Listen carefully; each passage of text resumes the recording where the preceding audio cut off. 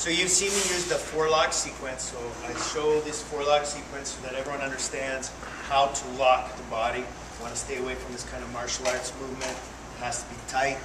I want to always be in a good position of control of the body. And now I come around with this goose head, and then I finish off with the hammerlock, okay? So that's all great. You know, I show you all the locks, but it's the doing of it in what situation. So then I teach how to control the upper body and how to not disrupt the rest of your establishment by saying, I'm going to try and hug you, you stop me from hugging you. So I try to hug you, one arm inside, this is called pummeling. So right away, we're not in a fight, we're in a control restraint. I'm trying to tuck his head, but I can't, he's lifted my arms. So let's see, the first thing I taught you was a wrist lock.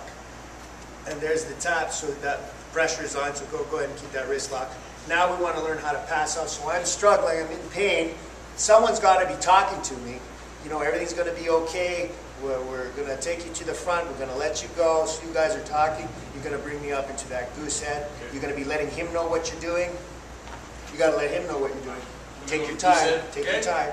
Ready? Okay, I'm ready. Here comes. Ah, Pass off. okay, man. Okay, man. You're breaking okay, my sir. hand. You're breaking my okay, hand. sir. You know, they say all kind of stuff. I'm on my toes. You're killing me, man. You're killing me. As long as I'm going It's where okay, I'm sir. supposed to go. Well, let's go at the front door. and break. So that's how you see those locks work, the wrist lock, uh, the arm lock, and then the last one, which uh, I believe is the most forgiving. Um, if you're bigger, I'm going to show you how a smaller person does it to a bigger person, and then how a bigger person does it to a smaller person. So when a, when a smaller person does it, I'm, I'm shorter, when I lock out the hammer lock, I don't go like this because he's bigger than me and he would just outpower me. So you've seen in previous videos that I've done that. So I make sure to cut him off from all this muscle mass where I cut into the elbow position. But because if you stand tall, see, he doesn't really care about what I'm doing. So I'm just going to turn around here. So all I do is I adjust to me, my body, and I find that position. If I still don't like the, the control of the pressure, I'm just going to cross reach. And so for a bigger person, I can have control. Now for him, the danger when you're training uh, security guards is that they dislocate or hurt your patrons or your clients. You don't want that to happen either.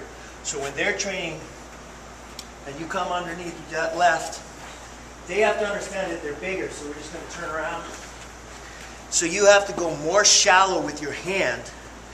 And that, like I'm already on my toes. So he just has to practice to be, yeah, I'm, I'm locked down. So there's no lifting, there's no bullying or wrestling.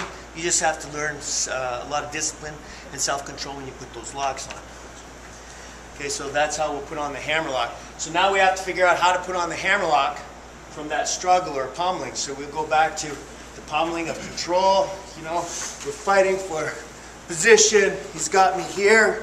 You got to communicate the entire time to me so you could be telling me that everything's going to be okay and you're telling him what you're doing. I'm put in the hammer lock. oh man, I don't know why you guys do this. You're going to bust me up. Pass. Okay. and then it's tight, man. It's tight. Oh my God, you're going to break my arm. Everything's gonna be okay, not. sir. Is it? Is It's it? gonna be okay. and You're gonna go outside and you're gonna be all right, sir. Okay, so that's a two-man escort, which I also believe is really important, is that two or three guards escorting out uh, one card. Thank you.